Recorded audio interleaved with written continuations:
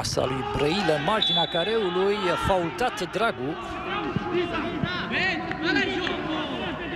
Poziție bună acolo pentru uh, Valentin Gheorghe care se duce și uh, ia mingea. Invocă divinitatea Florin stângă.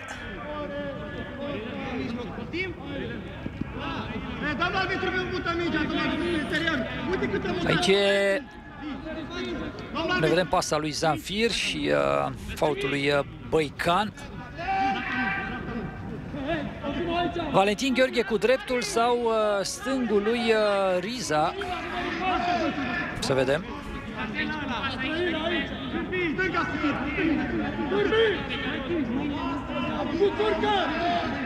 acolo, la de cartă, pleacă la poartă!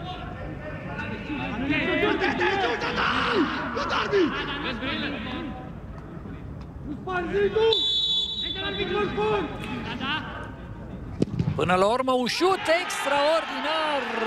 Mingea se duce la vinclu. Nu a fost uh, Valentin Gheorghe, el s-a apropiat inițial de minge.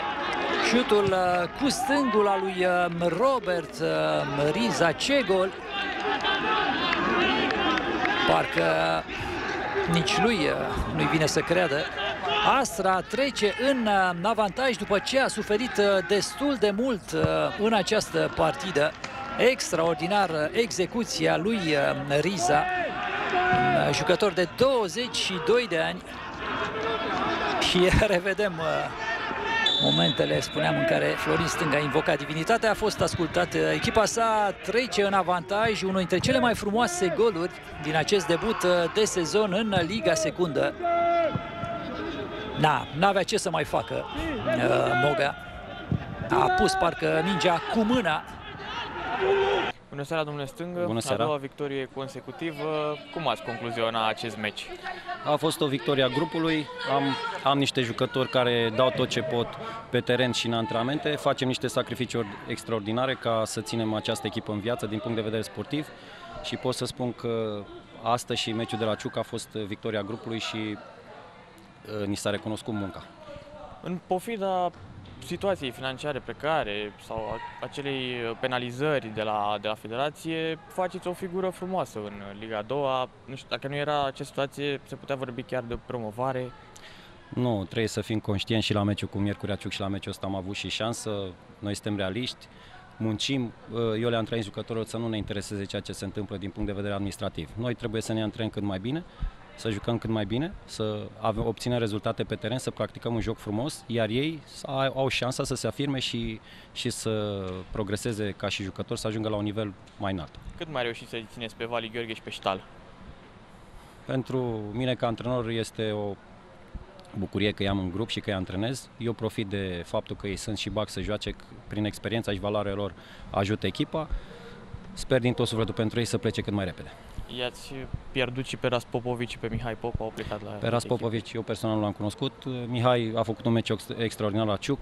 Îi mulțumesc public pe această cale și urez baftă la voluntari. A venit o decizie astăzi a NAD, nu se ridică pedeapsa pentru cei trei jucători care au fost depistați dopați, mai mult Comisia de Disciplină a FRF ar putea retrograda Astra, ar fi cea mai dură lovitură pentru club?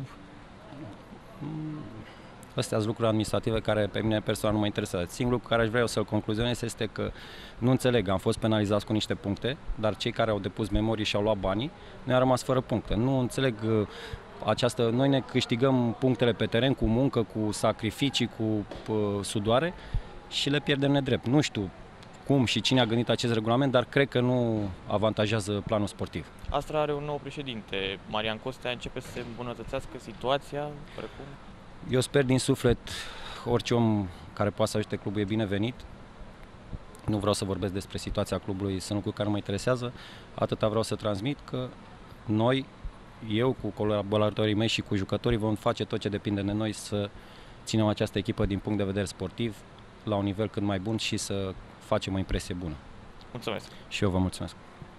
Bun găsit, Robert! Ai marcat golul victoriei. Cum a fost această partidă? Bună seara, în primul rând! Mulțumesc! O partidă dificilă, într-adevăr. Am întâlnit o echipă bună, o echipă cu jucători de calitate, tineri ca și noi, dar într-un final ne bucurăm că am reușit să obținem toate cele 3 puncte. L-ai surprins acolo pe, pe portar la acea lovitură liberă, ai tras pe colțul opus. Da, am văzut că toți din zi sunt înalți, exersăm în fiecare zi la antrenamente, a fost, gol. E cel mai frumos gol din cariera ta până acum?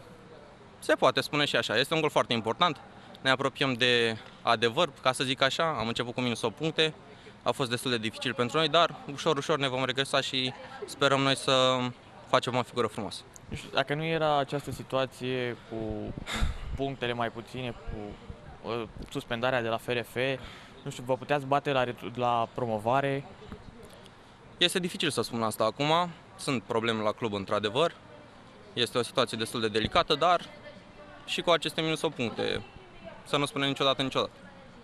Mersi. Mersi și eu, seară bună!